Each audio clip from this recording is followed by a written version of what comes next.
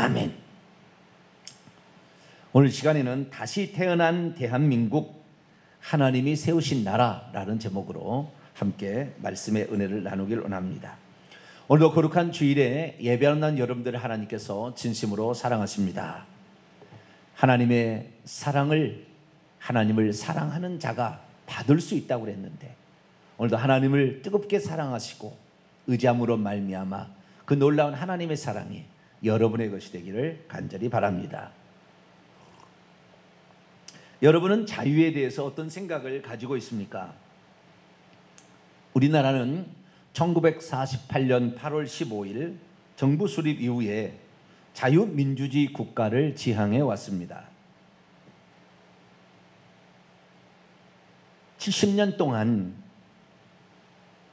그 자유민주주의 국가에서 살다 보니 자유가 얼마나 귀하고 고마운 것인지를 사실 잘 인식하지 못하고 있습니다. 자유란 무엇입니까? 남에게 구속을 받거나 무엇에 얽매이지 않는 상태에서 자신의 주권적인 의지로 선택하며 살아갈 수 있는 혜택을 가리킵니다. 그렇다면 지금 북한에는 이러한 자유가 있을까요? 탈북민을 대상으로 하는 어떤 목회자께서 탈북민에게 물어봤습니다. 이 남한에 오신이 가장 좋은 것 한 가지를 고르라면 그것이 무엇입니까? 그랬더니 열에 여덟 아홉은 이렇게 말하더랍니다. 자유가 있어서 참 좋지요. 자유도 여러 가지 자유가 있는데 어떤 자유를 느끼는 것이 좋습니까? 그랬더니 예상외의 답이 10중 8구가 그렇게 나온답니다. 우리가 생각하는 건 전혀 생각지 않은 거예요. 은행에 가서 돈을 찾는 것이 제일 기쁩니다. 이렇게 얘기한다는 거예요. 북한은 사유재산 제도가 없기 때문에 내 것이라는 개념이 없습니다. 설령 내가 저축을 혹시 은행에 해놨다 할지라도 그 돈을 내가 마음대로 빼서 쓸 수가 없답니다. 그래서 내가 넌 벌어서 얻은 소득을 은행에 넣었다가 창구 가서 숫자만 누르면 나온다는 것이 그렇게 신기하다는 거예요. 어떻게 이렇게 돈이 나오나? 나라가 준 것만 나오지 내가 넣었다가 내가 뺐을 수가 있다는 것이 너무 신기하다는 거예요. 우리는 이것이 별로 대수롭지 않게 생각하지만 북한 주민처럼 이렇게 신비하고 기분 좋은 일은 없다는 거예요. 사실 북한 주인은 주민은 자유를 억압받은 채 가장 통제받는 사회에서 살고 있습니다. 어느 누구도 자신의 마음을 마음껏 펼쳐서 얘기할 수 없습니다. 그들은 다른 지역으로 이동하거나 외국으로 여행하는 것에 제한을 받고 있고 핸드폰이 보급되었지만 인터넷은 차단되어 있습니다. 그리고 더욱이 그들에게 가장 안타까운 일은 신앙을 가질 자유가 없다는 것입니다. 오직 당이 시키는 대로 복종하며 살아야 합니다. 개인의 권리가 전혀 존중되지 않으며 언론, 출판, 질패, 결사의 자유가 보장되지 않습니다. 그러나 원래 공산당의 기치가 무엇입니까? 사람 위에 사람 없고 사람 아래에 사람 없다 이렇게 말하지만 실상은 어떻습니까? 이 북한 주민 위에 공산당이라는 것이 있고 당 위에 영도자라는 게 있어서 그 말 한마디에 모든 것이 다 무조건 찬성이고 북한에서는 절대 다당제가 될 수 없습니다. 오직 공산당 하나입니다. 자신의 의견을 표출할 다른 야당을 만들 수가 없어요. 반대를 당에서 얘기하는데 표시했다. 그날로 요독 순서로 가야 됩니다. 그 집은 그날 밤에 흔적도 없이 사라집니다. 이것이 바로 북한의 현실입니다. 그렇다면 우리나라는 어떻습니까? 우리나라는 1948년 8월 15일 자유민주주의 국가를 수립했습니다. 그래서 우리나라에서는 열심히 일하면 자기 것이 됩니다. 물론 초창기에는 약간의 어려움이 있기는 있었습니다. 그러나 군부 독재가 사라지고 김영삼 정부로 말미암아 자유민주주의가 되었고 이제는 그 자유민주주의의 꽃을 피우는 그런 시기에 넘어가고 있습니다. 사실 그리고 우리나라에서 가장 좋은 것은 신앙을 가질 수 있는 자유가 보장된다는 것입니다. 우리나라가 오늘 이렇게 세계 경제 대국 10위권 안에 드는 엄청난 국가로 발전하게 된 것은 1945년 새롭게 탄생한 대한민국이 최고의 가치를 자유로 여겼고 기독교 신앙의 바탕 위에 이 나라를 세웠기 때문이라고 판단이 됩니다. 그래서 오늘은 자유 대한민국이 어떻게 세워졌고 발전해 왔는지 그리고 앞으로도 이 대한민국이 잘 사는 나라로서 행복한 나라가 되기 위해서는 어떻게 해야 되는지 그 부분에 관하여 역사를 좀 더듬어 보려고 합니다. 오늘 본 말씀은 세상 만물을 말씀으로 창조하시고 섭리하시는 여호와 하나님을 자기의 하나님으로 선택한 백성은 복이 있다라는 말씀입니다. 사람이 주인되어 사람 위에 사람 없고 사람 밑에 사람 없는 공상 사회를 만드는 것이 가장 큰 복이 아닐까요? 어떻게 시편 기자는 여호와 하나님을 자기의 하나님으로 삼는 그러한 백성이 복이 있다고 말씀하고 있는 것일까요? 오늘날 이 세상 사람은 무엇을 가장 큰 복이라고 말하고 있을까요? 얼마 전 북한에서 이 세상에 가장 행복한 나라 그 나라가 어딘지 행복 지수를 발표했습니다. 1등은 중국, 2등은 북한, 3등은 쿠바, 4등은 이란, 5등은 베네수엘라입니다. 모두 공산 국가입니다. 중국은 100점 만점이랍니다. 행복 지수가. 북한은 98점. 쿠바가 93점, 이란이 88점, 베네수엘라가 85점입니다. 우리나라는 152등. 18점, 미국은 203등으로 3점이랍니다. 여러분은 이 수치를 어떻게 생각하십니까? 통제 사회에서 불이익을 당하지 않고 죽임 당하지 않기 위해 억지로 대답하고 있는 북한의 현실을 피부로 느끼고 있지 않습니까? 오늘 본 말씀은 BC 천년경 다윗으로 추정되는 시편 기자가 어떤 민족이 복을 받는 민족인가라는 것을 쓴 찬양시입니다. 여기서 시편 기자는 온 땅의 모든 사람들이 행복하기 위해서는 온 우주 만물을 창조하시고 그것을 다스리며 말씀으로 모든 것을 세우셔서 모든 세상의 계획을 파하실 뿐만 아니라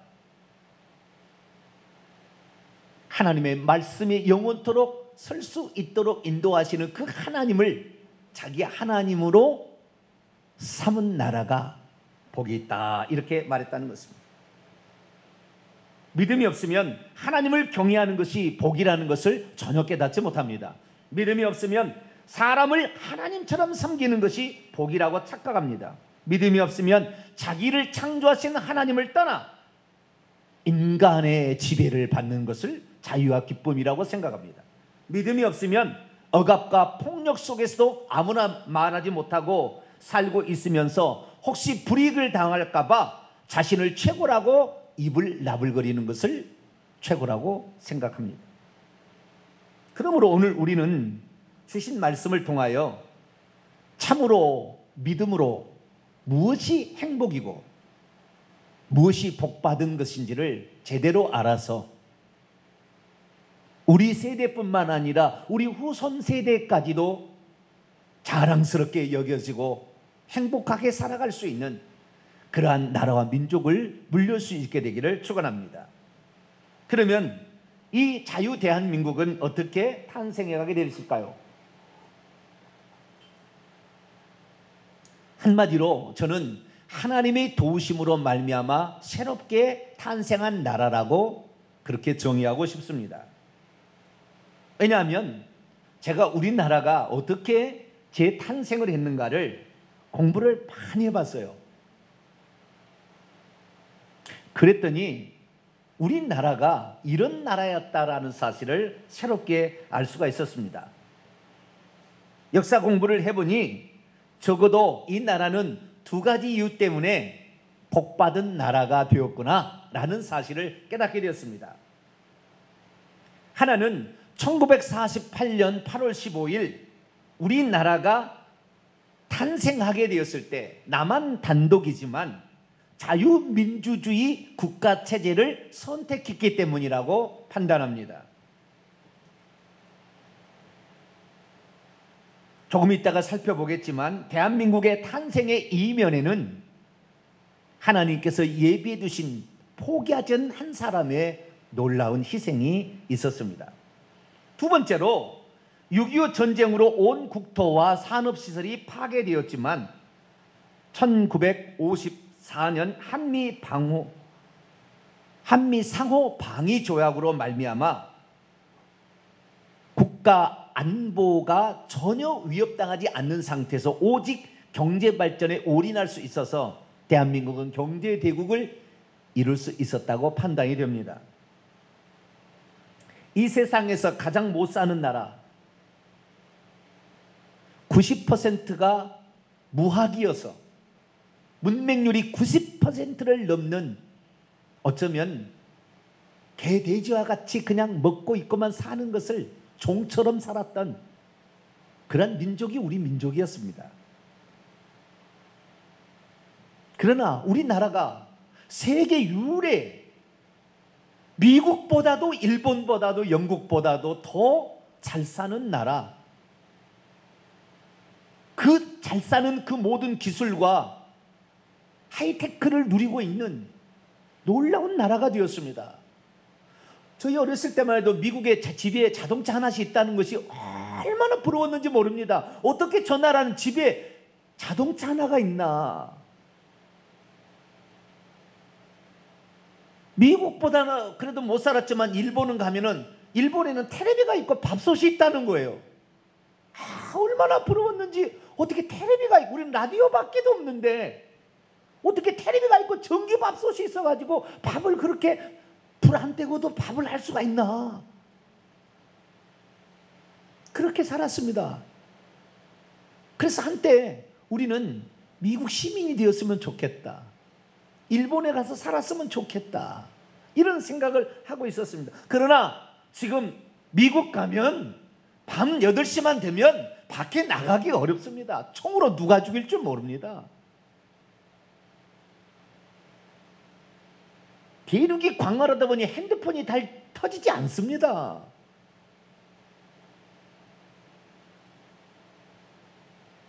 일본 깍두기 하나도 신청해도 돈 내고 먹어야 합니다.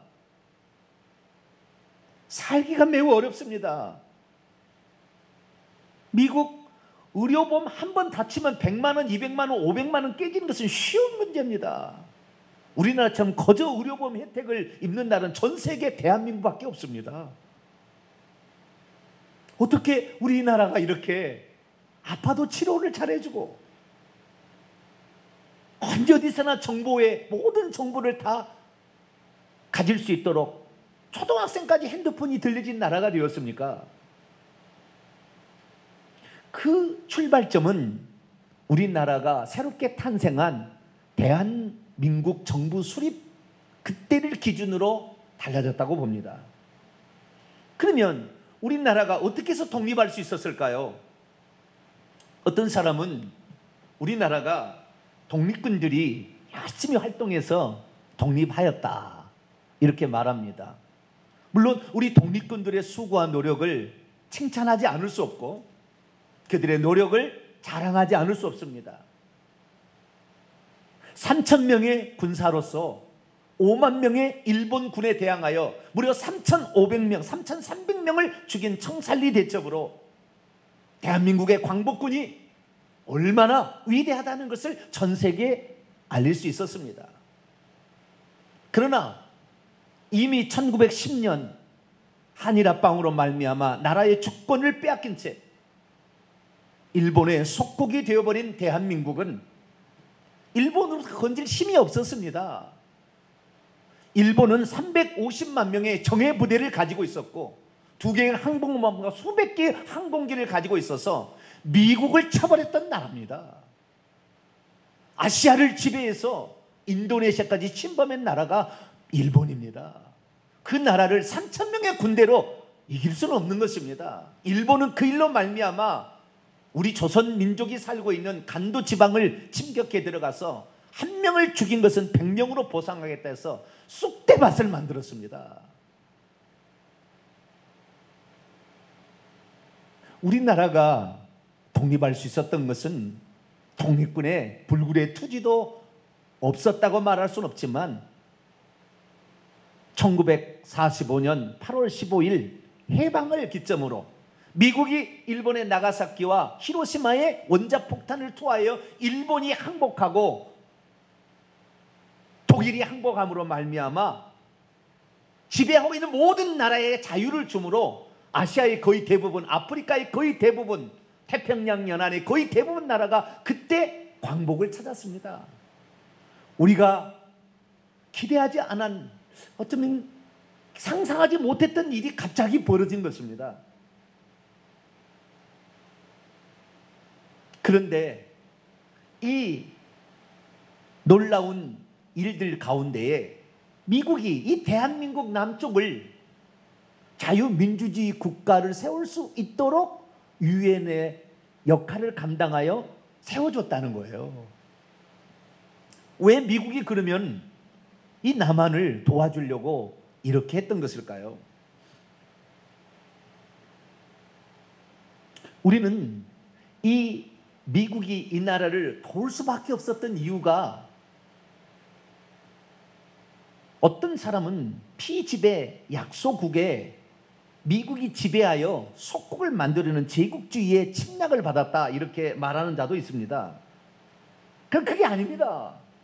그것은 피해 망상에 휩쓸린 사람이 만드는 이야기입니다. 역사를 조사해 보면 그렇게 나오지 않습니다. 그왜 그렇게 했느냐? 그것은 1941년 6월 달에 발행된 한 개의 책이 영어로 된 책입니다. 그 책이 미국 전역을 흔들어 놨기 때문입니다.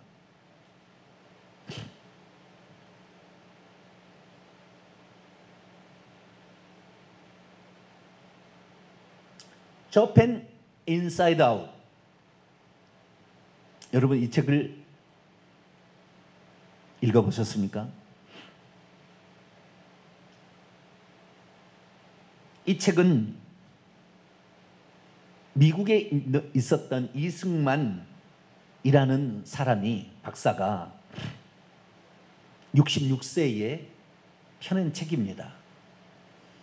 이승만은 우리나라의 아펜젤러 선교사에 의해서 세워진 배제학당에 영어를 가르쳐 준다는 말을 듣고 들어갔는데 사서 삼경과 한학에 통달해서 천재였습니다. 영어를 가르쳐 준다기에 영어를 배우러 갔는데 공부를 해보니까 우리나라가 앞으로 잘 살기 위해서는 하나님 신앙을 갖고 머리가 완전히 이렇게 그 열려져서 서양 열광들이 가지고 있는 이것을 가지 않으면 언젠가 우리나라는 망한다는 것을 알게 되었어요.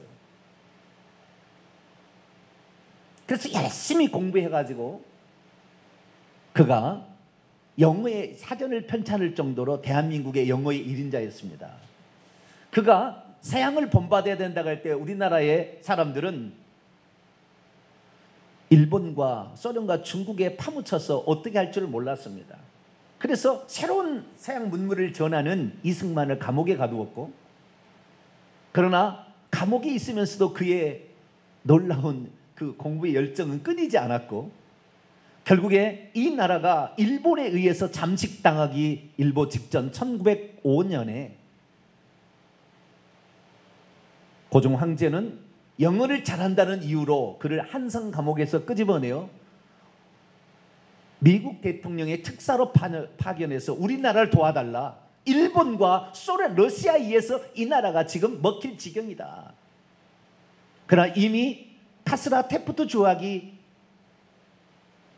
미국과 일본 사이에 체결되어서 필리핀은 미국이 먹고 한반도의 침략은 일본이 하는 것을 묵인한다는 조약이 이미 되어버렸기 때문에 아무것도 할 수가 없었습니다. 대통령을 만난 대한민국의 최초의 특사가 이승만이었습니다. 이승만은 거기에서 아 이게 공부해야 되겠다라는 생각으로 그 일을 바탕으로 미국에 건너가서 공부를 해서 워싱턴 대, 하버드 대, 프린스턴 신학대를 졸업하게 되는데 그때 자기의 대학의 학장 윌슨이 나중에 대통령이 됩니다. 그것이 1차 세계대전 기간의 대통령이에요, 미국. 그래서 이 세계 정세가 어떻게 흘러갈 것을 혜안을 가지고 1941년 Japan Inside Out 일본의 속내가 어떤 것인지를 드러냄이라는 책입니다. 거기에서 이 책이 처음에 나올 때는 별로 인기가 없었습니다. 그 내용이 뭐냐면은 일본은 천황 그리고 섬나라의 특징 때문에 반드시 대륙을 침략하게 될 것이고 이 침략의 근성은 미국도 치게 될 것이다. 그런 내용입니다. 그러나 일본과 이미 1차 세계대전 그런 기간 중에는 일본하고 친밀한 연락을 취하고 있었고 일본과 함께 아시아 이 지역을 먹으려고 생각했던 일본이 과연 미국을 칠 것인가? 미국은 전혀 예상치 않았는데 이 책이 나오고 6개월 뒤에 1900 41년 12월 7일 오전 8시 미국의 진주만을 공습하여 어마어마한 항공모함 두 척과 수많은 수백 대의 비행기와 수천 명의 사람들 미군을 그날로 수장시키고 죽였습니다. 결국에 이 사건은 이 이승만이가 어떤 사람인지를 알게 되었고 모든 미국을 뒤집어 놓았습니다. 어떤 사람이 그래서 그 노벨 문학상을 찾았던 펄벅이라는 사람이 이런 예언자가 아시아에서 나왔다는 것이 대단한 일이다. 우리는 그에게 배워야 한다. 그렇게 말했습니다. 결국 이 이승만이가 주장한 건 뭐냐면 대한민국을 만약에 중립지대로 거기를 만약에 남겨놓지 못한다고 한다면 러시아 소련의 공산주의가 전 세계를 다 소련 위성을 다 지배했던 것처럼 대한민국도 지배한다면 아시아가 다 넘어간다. 그래서 대한민국만큼은 자유민주주의 국가를 세워야지 그렇지 않으면 이 전 세상은 공산주의가 될 것이다 라는 얘기를 했습니다. 그래서 미국은 아 대한민국을 뺏겨버린다면 공산화 되겠구나 라고 생각이 되어서 나중에 이 대한민국을 독립시키기로 결정하게 되는 것이죠. 결국에 그래서 이 대한민국은 1948년 5월 10일 유엔 감시안에 자유선거를 통하여 국회의원 선거를 치르게 되고 5월 31일 재헌국회를 만들었고 7월 17일 성경을 바탕으로 한 대한민국 헌법을 만들게 되고 1948년 8월 15일 대한민국 정부를 수립하게 됩니다. 한 나라가 어떻게 새로 탄생하느냐가 중요한데 그 전에 우리의 모든 생각은 중국의 사대주의적 입장에서 중국을 왕처럼 섬기는 그런 체제로 살아왔습니다. 그런데 단 처음으로 이 중국의 영향권에서 벗어나서 하나님의 가치관으로 기독교적 가치관으로 헌법을 만들어서 자유, 민주, 평화, 평등을 주장하는 새로운 헌법을 만들어서 이 나라를 만고불변의 새로운 나라도 만들자는 재헌국회가 탄생하게 된 거였어요.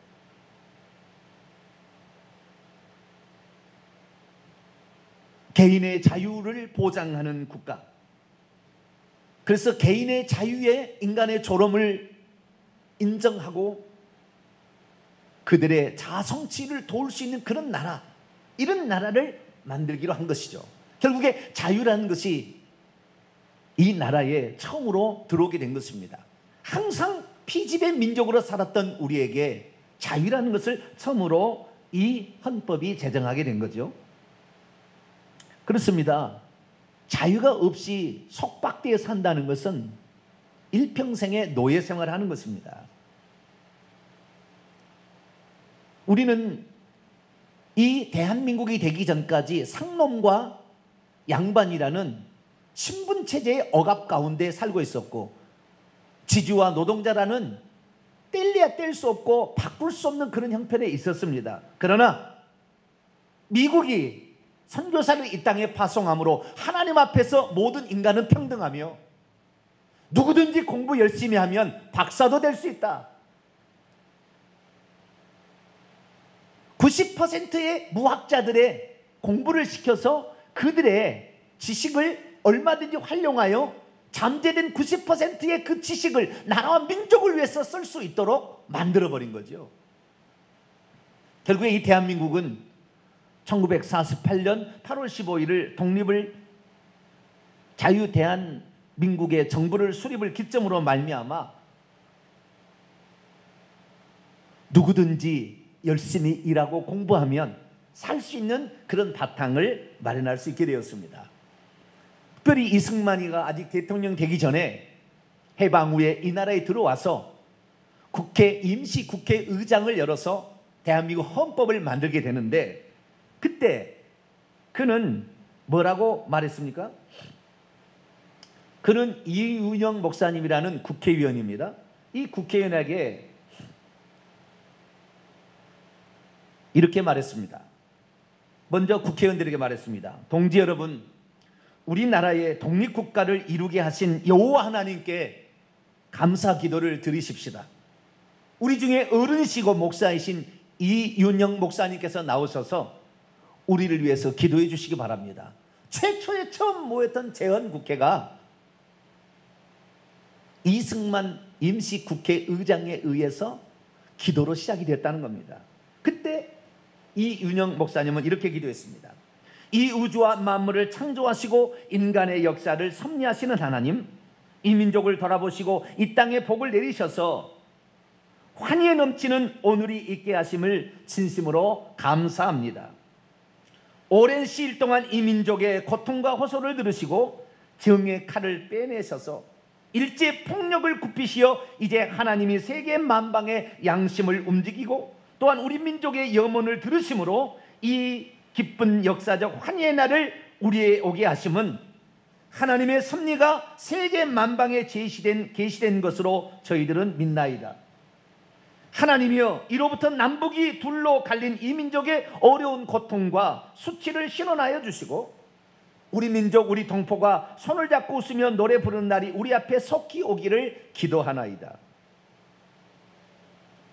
하나님이시여 원치 아니한 민색의 도탄이 길면 길수록 이 땅에 악마의 권세가 확대되나 하나님의 거룩하신 영광은 이 땅에 오지 않을 수 없는 줄로 저희들은 생각하나이다. 이로부터 우리의 완전한 자주 독립이 이 땅에 오며 자손 만대에 빛나고 푸르른 역사를 저희들이 정하는 이 사업을 완숙해 도와 주옵소서. 우리나라는 이 기독교가 선교사들에서 전래되기 전까지 불교와 유교를 숭상하는 나라였습니다. 조상을 신으로 믿고 석가모니를 신으로 믿는 우상을 숭배해서 저주 가운데 놓여 있었습니다. 그래서 세계에서 가장 못 사는 나라였습니다. 서양 선교들이 우리나라 와서 그냥 돌목마다 골목마다 똥 싸는 똥물이 흘러가는 것을 보고 냄새를 참을 수 없었다고 합니다.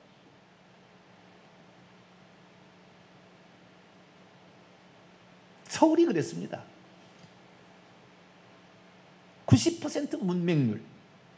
그러나 하나님께서 이 나라에 선교사를 파송해서 지각 있는 사람을 깨우셨고 그 중에 한 사람으로 이승만이라는 영향력 있는 미국의 있는 사람을 만들어서 우리나라를 독립시켜야 미, 미국이 도움이 된다라는 생각을 갖게 했어서 이 나라를 독립시키게 했다는 것입니다. 그래서 하나님의 도우심으로 세워진 나라, 이 나라가 대한민국인 줄로 믿습니다. 그러나 위기는 없었던 게 아닙니다. 두 번째 위기가 찾아왔습니다. 그것은 1945년 8월 15일 일본의 항복으로 말미암아 2차 세계대전이 종료되자 러시아는 벌써 1917년 볼시비키 혁명을 통하여 공산당의 모든 공산당을 주변의 국가로 확대해가는 시점에 연해주에 있었던 이 공산당 사람에게 보내서 김일성 대위를 북한에 보내어 북한부터 공산화를 시키자. 그런 계획으로 33일 해방 후 33일이 지난 데부터 북한을 접수하기 시작했습니다. 그래서 북한을 공산 정권을 세우기 위한 모든 일들을 차근차근 수행해 나가고 있었습니다. 미국에서 이 소식을 들었던 이승만은 이러다가는 이 대한민국이 소련 위성국이 다 공산화 국가 되는 것처럼 대한민국도 공산화 되겠다는 절박감에 1947년 이 나라에 들어오게 되었고 이 나라가 공산화되면 이 나라 공산은 절대 저들을 타협하지 말라. 저들은 반드시 속내를 드러내지 않는다. 저들은 거짓을 통해서라도 자기의 목적을 이룬다. 그러면서 이 남한 단독의 정부를 수립해야 된다. 라는 어쩔 수 없는 선택이지만 그렇게 해야 된다고 얘기를 했습니다. 그러나 이 사실을 들은 김일성은 2700명의 빨치산 게릴라를 남한에 난파하여서 무장 폭력으로 대항했고 그리고 1948년 5월 10일 자유 선거를 방해하기 위하여 여순 반란 사건, 제주 4.3 사건과 같은 그런 일들이 결국에 비극적 사건이 발생되는 이러한 일들을 장했고 남한에 있는 우익적 인사와 수많은 사람들을 다 죽였습니다. 암살로 죽이고 교통사고로 죽이고 행방불명으로 다 없앴습니다. 북한을 북한이 김일성이 들어오기 전까지는 조만식 선생이 북한을 장악하고 있었어요. 평양에 믿는 장로가 이 가장 영향 있는 사람인데 언제 어떻게 없어진지를 몰라요. 그런데 우리나라가 이 이승만이 들어와 가지고 대통령이 되고 이 빨치산들을 토벌하자 화가 난 김일성이 이 남한을 무력으로 정복하자 해서 6.25 전쟁을 일으킨 겁니다. 3일만 기다리게 되면 남조선에 있는 노동당원들이 전부 일어나 이 남한을 공산화 하겠다고 했는데 3일 동안 서울에 있어 봤는데 그렇게 안 됐어요. 결국에 남한을 다 쳐야 되겠다 생각해서 한강 이남으로 내려오기 시작했고 파죽지선으로 내려갔지만 이 소식을 들은 연합군들이 16개 국가가 참여해서 메가더 장군을 중심으로 인천 상륙작전을 벌여줘서 결국에 북한까지 쳐들어서 두만강까지 올라가는 놀라운 일들이 벌어졌습니다. 그러나 중공군의 개입으로 다시 밀려서 38선을 기준으로 교착 상태에 빠지게 되자 미국 173만 명을 이 나라에 군대로 파송해서 5만 명이 죽었고 10만 명이 다쳐서 미국으로 돌아가자 미국은 계속해서 이 전쟁을 해야 되느냐라고 하고 있을 때 아이젠하워 대통령 후보는 내가 휴전을 시켜서 이 미국의 남자들을 살려내겠다. 전폭적인 지지로 대통령이 됩니다. 그래서 휴전 협상을 들어가는 겁니다. 그러나 이승만은 이대로 돼 있으면 북한은 반드시 공산화되어서 이 북한은 가장 못 사는 나라가 된다는 걸 너무나 잘 알았기 때문에 전쟁을 그치지 말고 이 기회에 북진 통일을 해야 된다 이렇게 주장을 한 거예요. 그러자 미국이 자신의 아들들을 죽이는 것을 원하지 않았기 때문에 어쩌든 이 대통령 이 그 휴전 협정을 맺으려고 하는 거죠.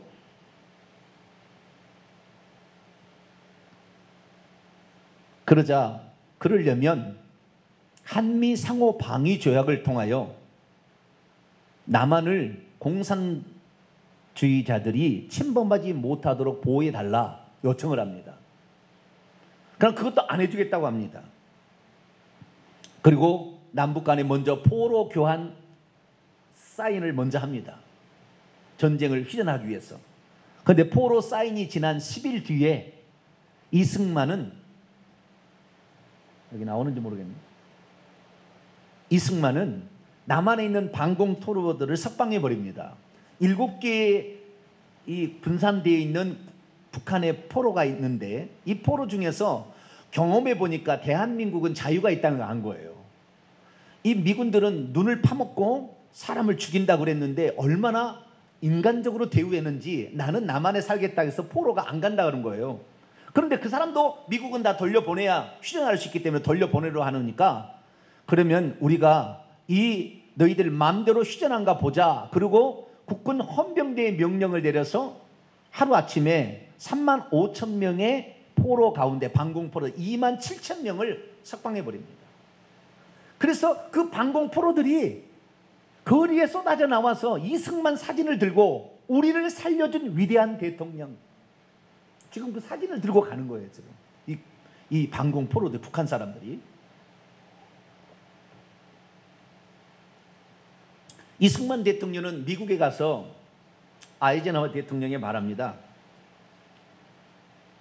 기독교 국가인 미국이 북한으로 돌아가지 않겠다는 방공 포로들의 귀환을 막아선 채 인간의 자유와 인권을 존중하는 기독교 국가가 미국이라는 것이 자국의 신리를 위해서 사람의 목숨을 파리 목숨처럼 버린다는 것이 과연 대 미국의 할 일입니까?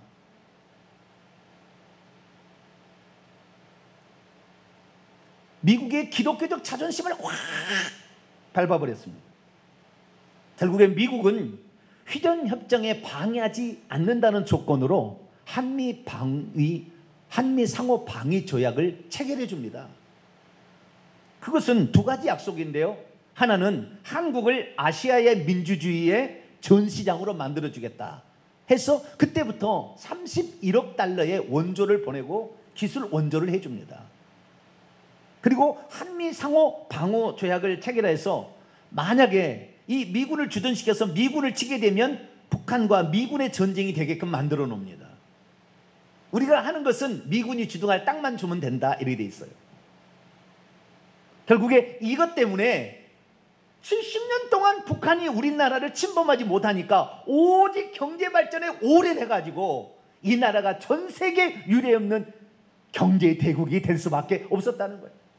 이 나라가 미국이 이렇게 지켜주기 전까지는 아무도 이 나라를 그렇게 하지 않기 때문에 열강들에 와서 먹기 위한 수많은 전쟁터, 침략의 그냥 발판 이게 됐던 이 나라가 미국이란 나라가 세계 대강국이 지켜주니까 아무런 문제 없이 경제 발전에 올인해서 결국에 이 나라가 아름답고 살기 좋은 나라가 된 것입니다. 왜 우리가 공산주의를 반대하는 것입니까? 그것은 공산주의는 개인의 자유와 신앙을 존중하지 않기 때문입니다. 이들은 기독교를 최대적으로 봅니다. 왜냐하면 기독교인들은 하나님을 믿기 때문에 죽음 앞에 두려워하지 않는다. 뿐만 아니라 이들은 기도를 늘 하고 말씀을 배우기 때문에 지각이 깨어난다.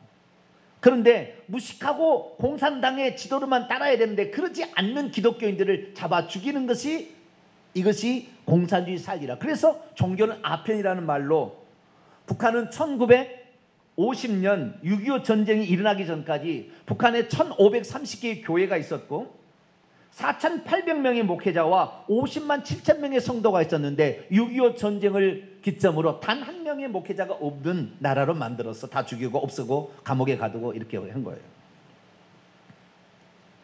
왜 우리는 공산주의를 반대합니까? 공산주의는 자유를 없애버리기 때문입니다. 자유가 없는 데는 발전이 없습니다. 그리고 기독교 신앙을 탄압하기 때문입니다.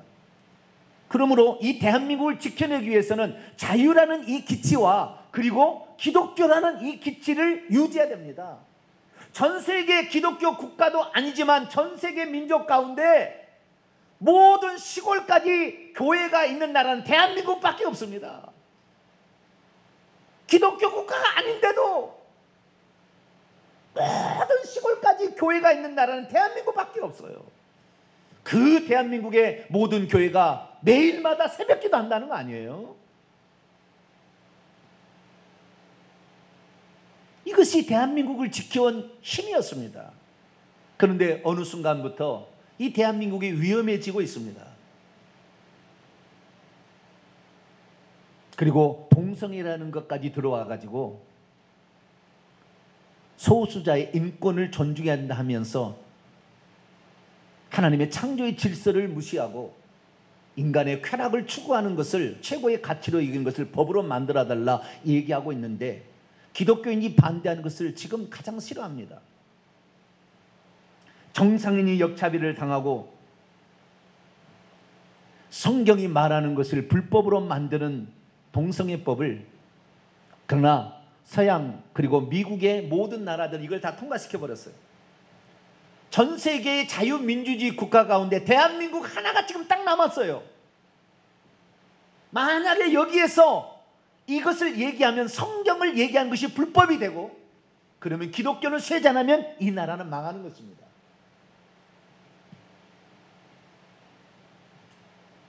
세상적으로 볼 때 가장 행복한 나라 중국입니까? 북한입니까? 이란입니까? 쿠바입니까? 베네수엘라입니까? 개인의 자유가 존중되어지고 기독교 신앙으로 되어진 이 나라가 하나님께서 기뻐하는 나라입니다. 오늘 본 말씀을 보겠습니다. 여호와를 자기 하나님으로 삼은 나라 곧 하나님의 기업으로 선택된 백성은 복이 있도다. 이러한 백성은 복이 있나니 여호와를 자기 하나님으로 삼는 백성은 복이 있도다. 하나님은 처음부터 아담을 지을 때부터 개인의 자유를 존중하셨습니다. 심지어 선악과를 먹는 문제도 네 선택 권한을 주겠다고 자유를 줄 정도로 하나님은 인간의 존엄, 인간의 개인의 자유를 중요시 여겼습니다. 그러나 우리는 하나님의 창조까지 거부할 수 있는 자유가 있는 것은 아닙니다. 그러나 하나님의 창조의 질서마저 거부해서 인간의 쾌락을 그 위에 올려놓은 동성의 전략이 한국을 침범해 들어오고 있습니다. 그래서 우리는 공산화와 그리고 동성애를 막아내야 합니다. 이것이 대한민국을 지킬 수 있는 복받은 대한민국을 지킬 수 있는 유일한 방법이기 때문입니다.